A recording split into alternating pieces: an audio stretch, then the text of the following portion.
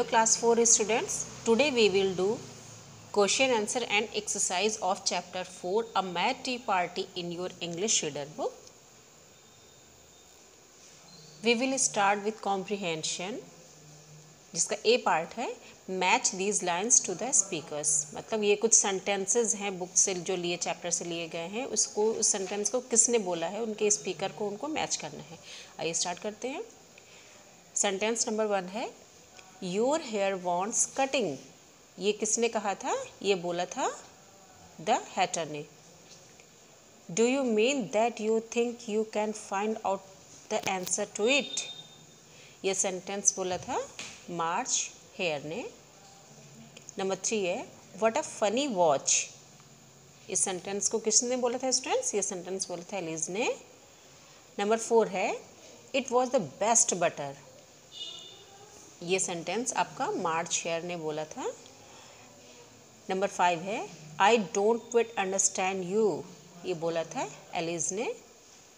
Number six है I told you butter would not suit the work ये बोला था द हैटर ने। आपका ये कॉम्प्रिहेंशन में ए इसका कंप्लीट हुआ, जिसमें कि बी पार्ट है आंसर दीज क्वेश्चंस जिसमें क्वेश्चन नंबर वन है whom did Alice see at the table Alice ने टेबल पे किसको देखा था? जिसका आंसर है Alice saw the hatter the March hare and the dormouse at the table Alice ने द हैटर को मार्च शेयर और डोर माउस को टेबल पर देखा था। क्वेश्चन टू है how did the hatter and the March hare use the dormouse hatter और March share door mouse को कैसे यूज़ कर रहे थे? इसका आंसर है the hatter and the March Hare use the dormouse as a question resting their elbows on it and talking over its head March Hare और Hatter door mouse को एक कुशन की तरह यूज़ कर रहे थे, जो कि उसको अपनी एल्बो उसके ऊपर रख के आपस में बात कर रहे थे। क्वेश्चन थ्री है what riddle did the hatter ask Alice hatter ने एलिज से कौन सा रिडल कौन सा पहली पूछी थी? क्वेश्चन है सॉरी आंसर है। The hatter ask Alice Alice why is a raven like a writing desk hatter ने एलिस से पूछा था कि रेवन जिसको कि हम कौवा कह सकते हैं, वो राइटिंग डेस्क की तरह क्यों लगता है? Question four what did the hatter say about time hatter ने टाइम के बारे में क्या बोला था?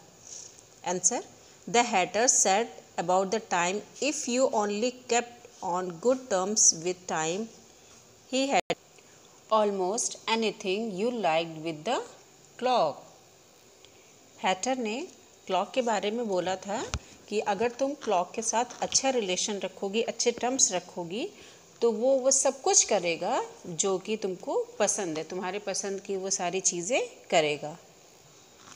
क्वेश्चन फाइव है why was it always six o'clock हमेशा वॉच में, घड़ी में हमेशा सिक्स ओ क्लॉक क्यों बजता था? आंसर है it was always six o'clock because they quarrelled with the time and since they then time has ensured that it is always six o'clock इसका आंसर है कि उन दोनों ने, किन्होंने हैटर ने और क्लॉक ने आपस में लड़ाई कर ली थी, जिसकी वजह से उस घड़ी में हमेशा सिक्स ही बज रहे थे। मतलब वो घड़ी लड़ाई करने का मतलब वो घड़ी ख़राब हो गई थी और वो घड़ी चूँकि उस सिक्स छः बजने पे ही वो घड़ी बंद हुई थी तो तब से वो घड़ी हमेशा उस पर सिक्स ओ क्लॉक का ही टाइम शो हो रहा था। स्टूडेंट्स कॉम्प्रिहेंशन का सी पार्ट है। Read these lines and answer the questions जिसमें पहला सेंटेंस है you should learn not to make personal remarks आपको सीखना चाहिए कि आपको किसी के ऊपर पर्सनल रिमार्क्स नहीं करने चाहिए। जिसमें कि पहला क्वेश्चन है who said this and to whom ये किसने कहा था और किसको कहा था? तो इसका आंसर नोट करिए। Alice said to the hatter ये सेंटेंस एलिज ने हैटर को बोला था। क्वेश्चन बी है what personal remark did the person make मतलब उस पर्सन ने कौन सा पर्सनल रिमार्क किया था?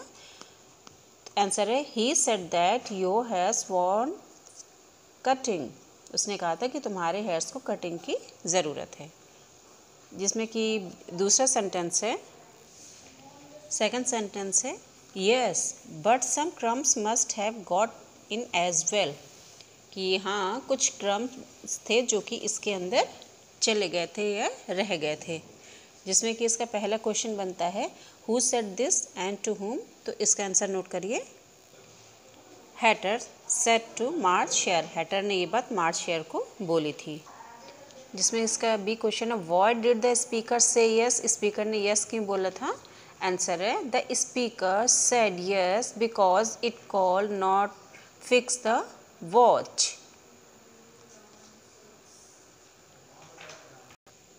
आपका तीसरा सेंटेंस है।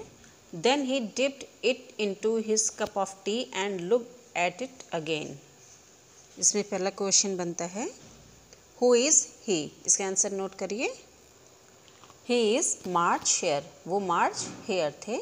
इसमें बी क्वेश्चन है what did he dip in to his cup of tea उन्होंने अपने टी के कप में क्या डिप किया था? तो इसका आंसर है he dip the watch in to his cup of tea उन्होंने अपनी वॉच को अपने टी के कप में डिप कर दिया था।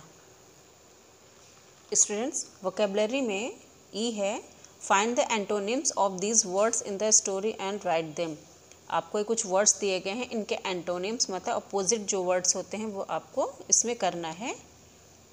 पोलाइट नंबर वन है पोलाइट पोलाइट का अपोजिट या एंटोनिम्स वर्ड होगा रूड सेकंड है वर्स्ट वर्स्ट का बेस्ट थर्ड है बोल्डली उसका होगा कवर्डली नंबर फोर्थ है क्वेश्चन उसका है एंसर्ड नंबर फाइव है शाउट शाउट का एंटोनिम्स होगा विस्पर सो स्टूडेंट्स